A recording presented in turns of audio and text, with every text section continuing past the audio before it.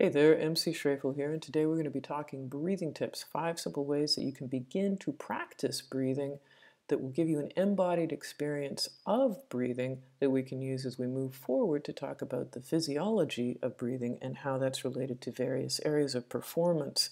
Now, there's all sorts of breathing practices that you've probably seen, such as yogic breathing is one, pregnancy breathing, very particular related to that um, Tummo breathing and Wim Hof method breathing um, have this interesting side effect that they're supposed to help us deal with the cold. In fact, Tummo breathing is reputed to melt ice if you're sitting on it. Uh, so that's an interesting physiological side effect. There's also breathing in Systema here, which is a Russian martial arts practice where breathing is used particularly to enhance performance when under stress. Speaking of stress, there's a fantastic use of breathing and really breath holding practices to enable work underwater, in this case, pearl diving. And in fact, breathing or breath holding is a real key part to improving our well being and performance that we'll talk about. It's sort of the weightlifting of breath work and how that affects our chemistry of breathing. And in fact, there's tons of chemistry and physiology in breathing from how the air is uh, processed through our bodies, how that is moved through the bodies to help our various cells, what the chemistry of that is, and then how that also, of course, moves through the lungs themselves to process and get into the rest of our body.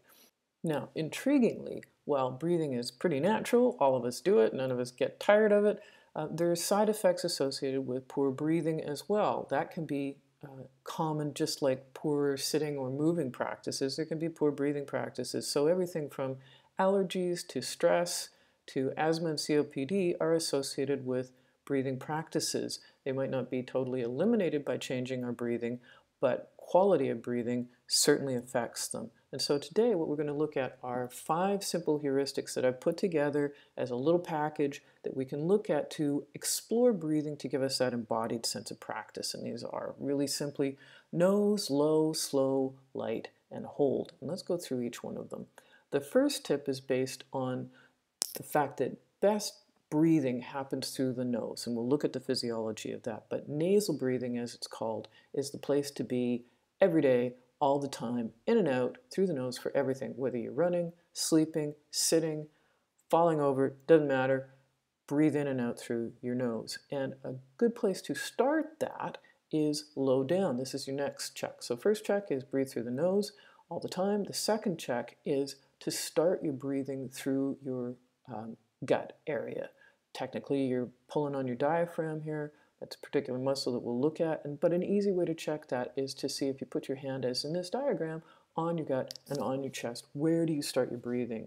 And the goal is to start it from low down in your gut area and feel it move up to your chest. So you feel your gut area move first, then your chest area. And what you don't feel, the invisible one, is you don't move your shoulders. So nasal breathing first. Tip two is start your breathing low. Just explore how these feel individually and together, and then look at slowing down your inspiration and your expiration. So inhale slowly, doesn't matter about counting here, and exhale slowly. Just see what happens when you try to slow down your inhalation and then your exhalation.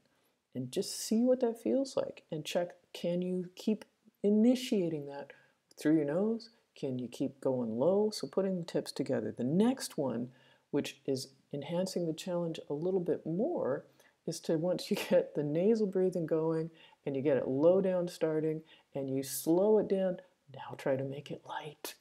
Can you make it so light that you can't hear yourself breathing? That's one quick check. And again, we'll talk about why these things are so important uh, when we get into the physiology of breathing. Uh, but guaranteed, each of these tips so far is associated with good science to help improve well being performance. Now, the final one is the unbreathing or the breath hold. So, assume that you've taken all of those four steps now and you're breathing in and out and out. After about six times of counting this consciously, breathing out, not forcing it out, not hard breath in or out, and just pause, hold your breath, hold your nose and just see how long that pause lasts before you have your first urge to breathe in again. And again, this is not about how long you can hold your breath, because you can hold it longer than this first urge for sure, but just to see where that baseline is for you, where that first urge to breathe is. Do that a couple of times. And again, breath holding, as I said, is sort of like the weight lifting practice work of breathing quality. We'll talk about the physiology of that because there's lots of it, but just give it a go to explore these five things for uh, the next wee while to feel what it's like to breathe in your body consciously and be aware of that. And so, again, one more time it's nose, low, slow, light, and hold, and just check how easy and hard are each of these to do on their own. How hard do they feel or easy do they feel to combine? In what contexts are they challenging or easy? And how you doing this for? Do you notice yourself checking, going, oh gosh, I have to breathe through my nose again? I didn't realize that. So that's the context for um, good breathing practice, whether you get into the physiology of it or not. This will be very useful to you. You can just say, well, trust me, that, that'll work. Um, and next time we'll also unpack all of these tips to look at the physiology. So breathing basics, we'll look at what that instrument is on that person's hand and why it's backwards, and potentially talk about the role of baking soda for endurance performance and why that's related to the chemistry of breathing in the first place. So just as a quick overview, that five stack I gave you is nose, low, slow, light, hold, explore each one, put them together, play with them, and I'll look forward to your questions about this experience, what you've noticed, to inform our next discussion about physiology. And meantime, look forward to hearing from you. Thanks a lot. Bye now.